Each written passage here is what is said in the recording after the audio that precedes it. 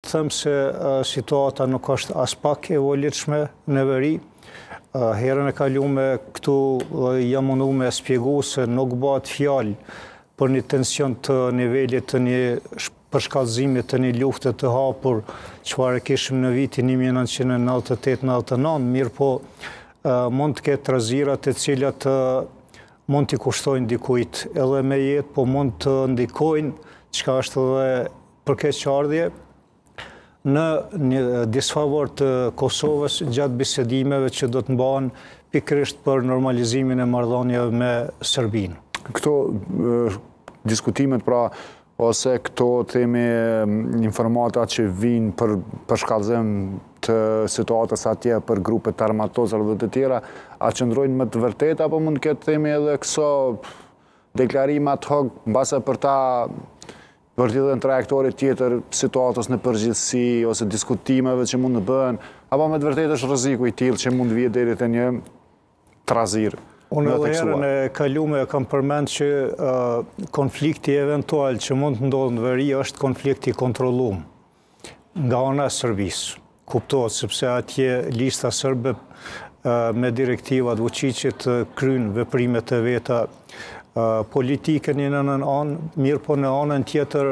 kanë të angazhume edhe grupe paramilitare dhe militare të cilët janë të gatshëm për përshkallëzimin e situatës edhe shkaktimin e incidenteve, ndoshta edhe të armatosura deri në një farë shkalle. Sepse ne po e shofim që përveç se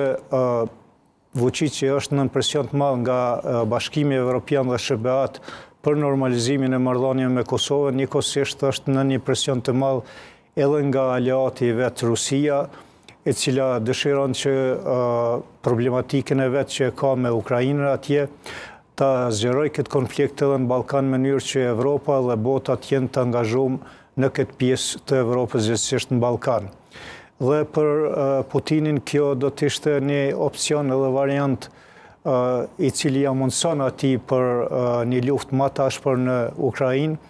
dhe njëkohësisht ta majë SHBA-në dhe Evropën të angazhume në Ballkan.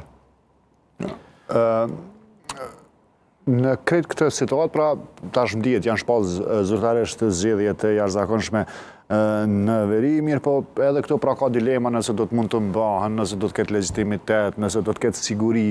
Nëse do të ketë qytetarë serbë që do të guxojnë të dalin të votojnë atë ditë në veri, sa mund të të ndikojë kjo nëse vije deri tek organizimi i zgjedhjeve, pra në përgjithësi në në situatë? Është, ju i përmend disa fakte që mund të ndodhin në veri në gjatë organizimit të zgjedhjeve në në atë pjesë të Kosovës dhe ato qëndrojnë.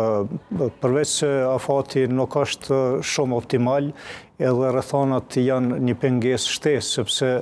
po shifet qartë që pjesa më e madhe e popullatës sërbe nuk do të marrin pjesë, ndoshta askush nuk do të merr pjesë në ato zgjedhje dhe kush mund të merr pjesë aty, atëherë do të jenë vetëm shqiptarët dhe një pjesë e boshnjakëve. As boshnjakët gjithë nuk do të marrin pjesë. Kështu që kjo edhe e vë në pyetje legjitimitetin, mirëpo, Për të mrri deri aty, në fakt duhet të, të kemi disa parakushte dhe disa mundësi që të organizohen zgjedhjet. Duhet të përzgjidhen lokacionet se ku do të mbahen ato zgjedhje. Kush do të organizojë, kush do të angazhohet në mbikëqyrjen dhe kontrollin e tyne, monitorimin e tyne. Gjitha këto janë sfida të mdha dhe nuk janë aspak sfida që duhet t'i nënçmojmë, sepse ne e dimë se deri deri në një farë kohe ka qenë pothuajse fare e pamundshme që të shkohet në atë pjesë të Kosovës. Mirëpo me kalimin e viteve u arrit që të zbutet situata në një farë mase me kthimin e atyne strukturave që ishin atë kohë atje në institucione të Kosovës, si policia, gjyqësia, zjarrfiksit e tjera e tjera, e të cilët sot s'i kemi. Lirisht mund të themi se sot në atë pjesë të Kosovës nuk ka institucione të Kosovës, të cilat mund të punojnë në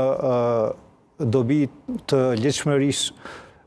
të Kosovës edhe qytetarëve të asaj pjese. Megjithatë, pra stacionet policore janë të hapura, rrinë aty disa policë, mbase 5-6 policë brenda stacioneve për t'u kujdesur për to Ka njësi speciale në pikat kufitare.